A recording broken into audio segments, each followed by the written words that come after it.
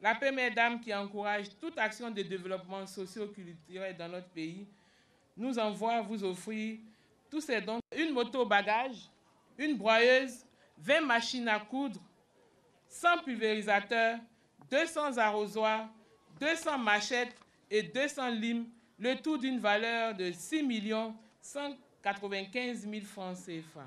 Aussi, a-t-elle déjà fait parler son cœur en offrant à Koyekro en 2015 une ambulance de type 4x4, toute équipée d'une valeur de 45 millions de francs CFA. Deux tricycles pour la mutuelle d'action positive de Koyekro. Et surtout, en permettant l'inscription de Koyekro pour le trophée qui porte son prestigieux nom Dominique Ouattara. Les populations de Koyekro se disent comblées par cette action de la Première Dame qui va leur permettre de se prendre en charge. Invitée d'honneur à cette cérémonie à Koyekro, la Première Dame de Côte d'Ivoire, Mme Dominique Ouattara, a encore fait parler son cœur.